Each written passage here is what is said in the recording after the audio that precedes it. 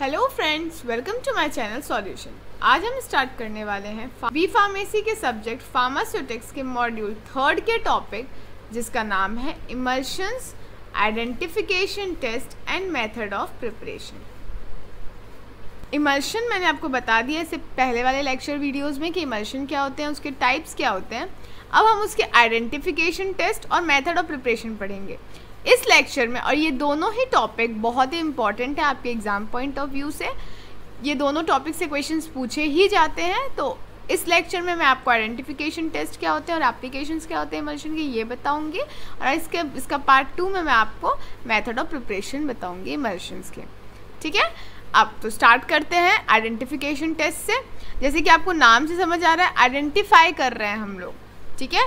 तो क्या आइडेंटिफाई करेंगे? आइडेंटिफिकेशन टाइप्स टेस्ट से आइडेंटिफिकेशन टेस्ट से हम टाइप ऑफ़ इमल्शन को फाइंड करेंगे आइडेंटिफाई करेंगे कि कौन से टाइप का इमल्शन है।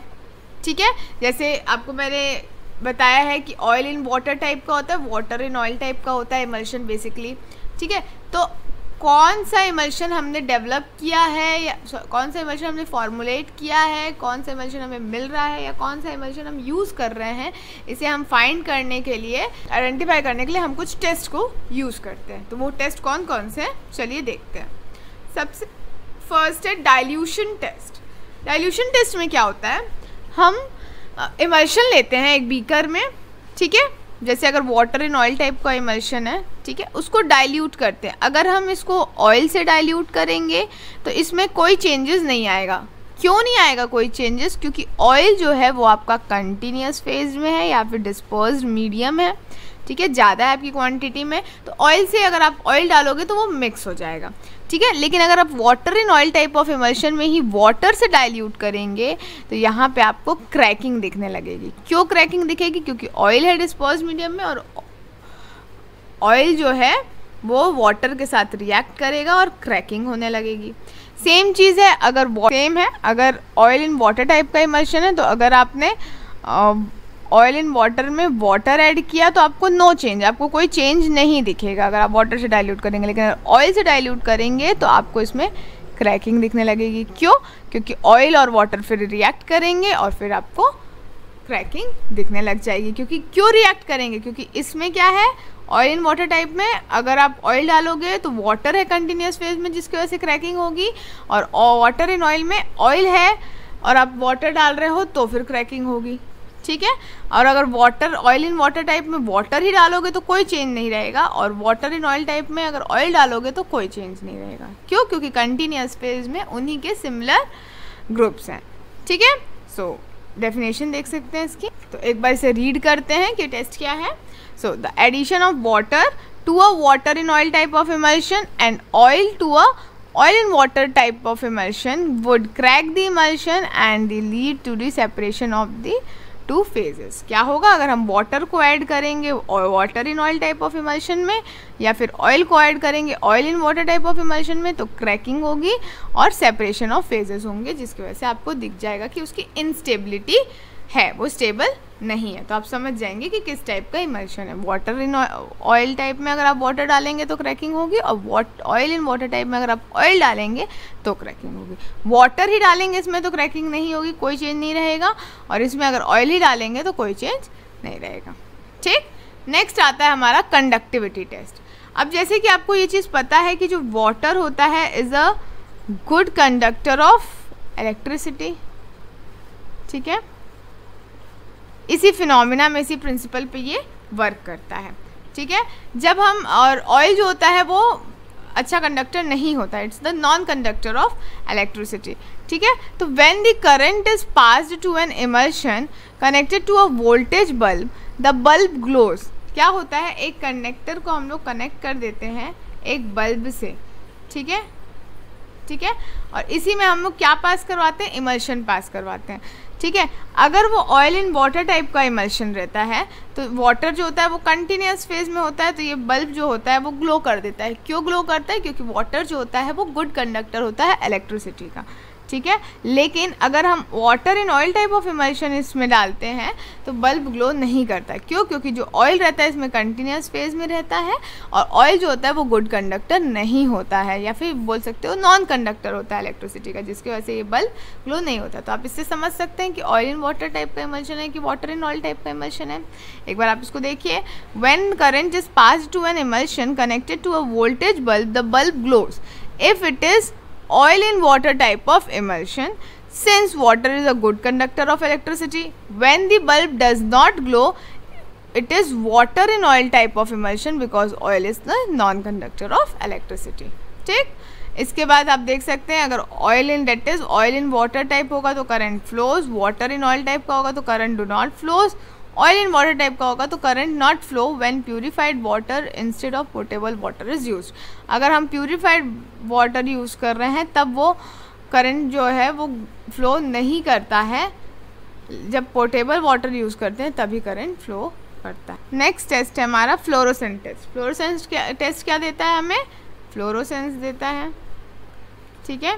जो ऑयल होते हैं, वो आपको फ्लोरोसेंस देते हैं, ठीक है? और जो वाटर होते हैं, वो आपको फ्लोरोसेंस नहीं देते at the presence of UV light जब हम यूवी लाइट से ट्रीट करते हैं तो जो ऑयल रहता है, वो हमें फ्लोरोसेंस देता है और वाटर हमें स्पॉटी पिगमेंट्स देता है, ठीक है? तो इससे आप समझ जाएँगे कि ऑयल इन वाटर टाइप है या वाटर इन ऑयल टाइप में. और याद रखिएगा, ये तब देगा जब जो भी, एक चीज़ याद रखिएगा सब में, जो भी फ़ेज़ आपका जो भी फ़ेज़ आपका कंटिन्यूस फ़ेज़ में है, ठीक है? या फिर डिस्पोजन मीडियम है, ठीक है? उसी पे डिपेंड करता है, उसी से आप जज करते हैं। जैसे इसमें भी ऑयल इन वाटर में तो वाटर है तो उसके साथ डाइल्यूशन हो रहा है ऑयल का या वाटर का तो रिएक्शन हो रहा है। इसमें भी जो कंटिन्यूस फ़ेज़ में है, वो बल्ब को ग्लो करेगा या नहीं करेगा। इसमें भी और सब टेस्ट में जो कंटिन्यूस फ़ेज़ में है, जो ज़्यादा क्वांटिटी में, वही टेस्ट को इंडिकेट करेगा।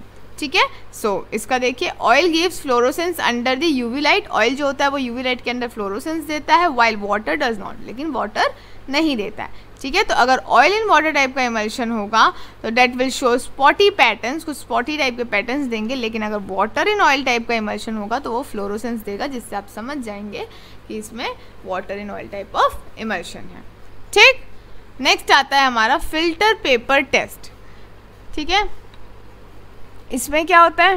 फ़िल्टर पेपर टेस्ट में oil in water type of emulsion should spread rapidly when dropped into the filter paper in contrast with water in oil type of emulsion migrate slowly अब आप एक क्या करते हैं? Beaker में funnel के through oil in water type of emulsion डालते हैं। तो आप कभी भी अगर पानी को डालोगे फ़िल्टर पेपर के अंदर तो वो जल्दी जल्दी गीला कर देगा फ़िल्टर पेपर को, जल्दी स्प्रेड हो जाएगा।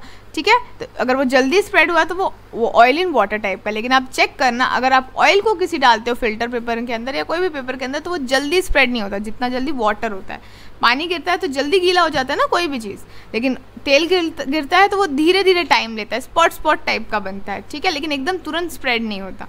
क्लियर तो इससे भी आप आइडेंटिफाई कर सकते हैं कि ऑयल इन वाटर है या वाटर इन ऑयल है। जब आप फनल में ऑयल इन वाटर डालोगे तो फनल का जो फ़िल्टर पेपर है वो पूरी तरीके से जल्दी से गीला हो जाएगा। तो इसका मतलब है वो ऑयल इन वाटर टाइप है और अगर धीरे धीरे हो रहा है तो इसका मतलब है वो वाटर इन ऑयल टाइप का है। यही लिखा है इसमें that oil in water emulsion should spread out rapidly dropped on to the filter paper जब ड्रॉप करेंगे फ़िल्टर पेपर में in contrast to water in oil type of emulsion will migrate slowly लेकिन वाटर इन ऑयल टाइप जो होगा, वो धीरे धीरे migrate होगा, गीला होगा।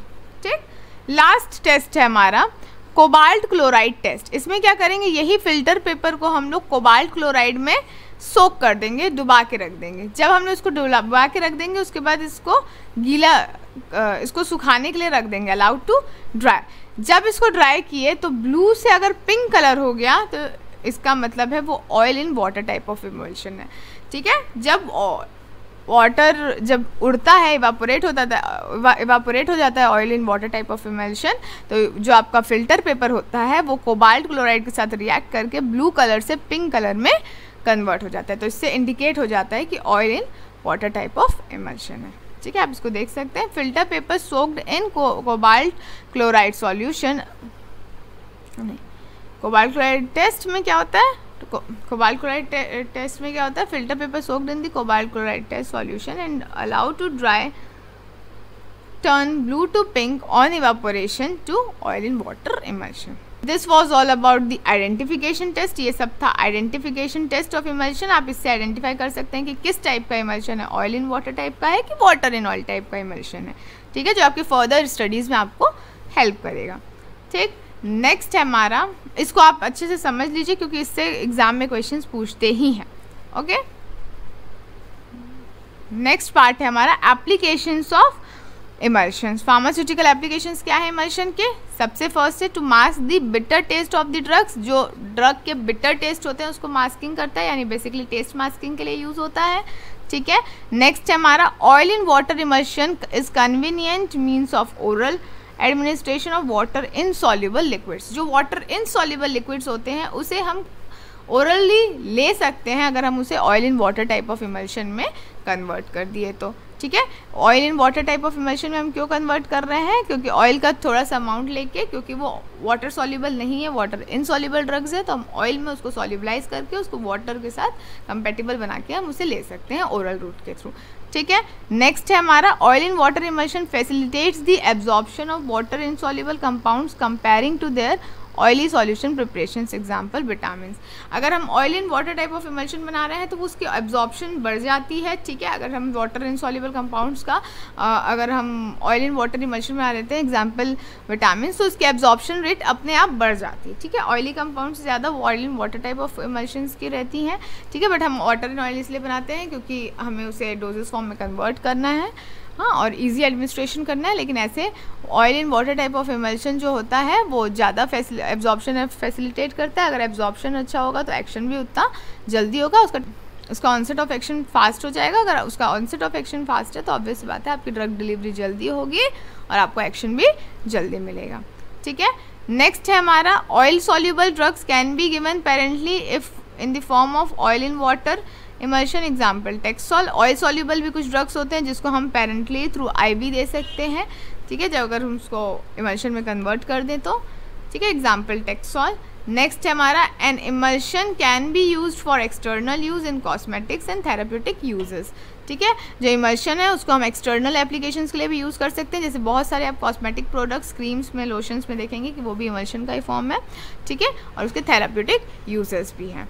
और भी बहुत सारे एप्लीकेशन से मैंने कुछ सेलेक्टिव एप्लीकेशन इसमें लिखे हैं। ठीक है, आप और भी एप्लीकेशन देख सकते हैं। और आगे वाले लेक्चर वीडियोस में मैं और एप्लीकेशन को डील करती ही जाऊँगी। आपको ऐसे समझाते समझाते आपको और मैं एप्लीकेशन समझाती रहूँगी। ठीक? This was all about today's lecture I hope आपको ये लेक्चर समझ आया होगा। Thank you